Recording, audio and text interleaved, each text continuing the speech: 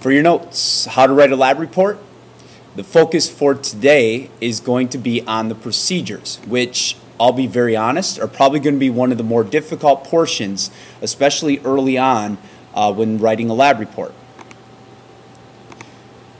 So, when you're actually writing your procedures, your procedures are really truly your step by step process in which you are writing about what steps need to be taken and in what sequence.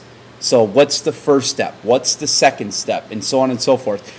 The fact is is that you are writing these as I will emphasize in class. You want to write them as if you have a younger sibling, maybe in kindergarten, first, second, third grade, that if they were to listen to you because they may not be able to read it, but if they were to listen to you, they would know what to do and how to do it.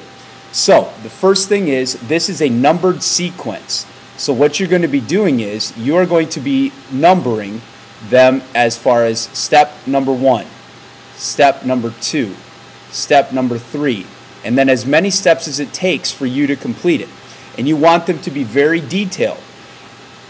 Details, details, details are a very important part in the actual procedures.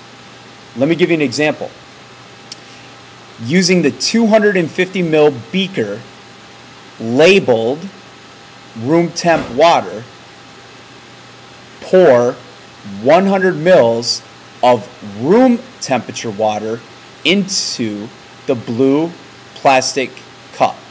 Now, all the things that I've underlined, obviously there's a lot of things there, but notice the detail. We talked about the, the one that is labeled room temperature water. We talked about how much the size of the beaker you need to use. We talked about how much you need to pour of room temp water into that specific type of cup. And notice it's a blue plastic cup because maybe you had blue, red, yellow, green.